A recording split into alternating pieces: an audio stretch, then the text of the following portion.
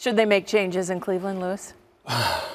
wow. Well, you know, when you have this this kind of record that they have, this kind of record of futility, yeah, it, it, it probably leads to the fact that once again they need to start over. But see, here, here's the problem, though, Chris over and over and over again, there's obvious signs of dysfunction here between front office and coaching staff. And look, this isn't really rocket science. I mean, it's tough, but it's not that hard to understand that you cannot have this kind of division between what ownership and front office wants and what coaching staffs want.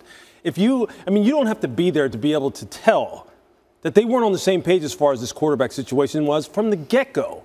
And at that position, you can't mess around and play roulette with that kind, with that position and do it like that. If you can't come to a consensus on a player like this, and you don't have everybody on board, you don't think the player is going to wind up feeling that and noticing that when he's in your building? Do you think coaches are going to coach with the same kind of attention to detail and same kind of support that they would if they would all had all been on the same page with a guy?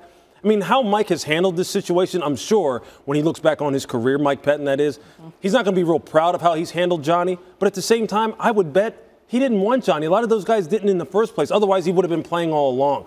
They've got it. Jimmy Haslam has to get that kind of thing right before they do anything else here as far as trying to sell hope to the city of Cleveland. Because if you don't, you can bring in all the coaches you want. Go ahead. They'll sell, they'll sell it as, hey, look, we're all on the same page. We've got the guy we want. But you know, when the rubber meets the road, as Mike Tomlin likes to say, if you're not on, if you're not on the same page, just forget it. You can just rack up some more double-digit loss seasons.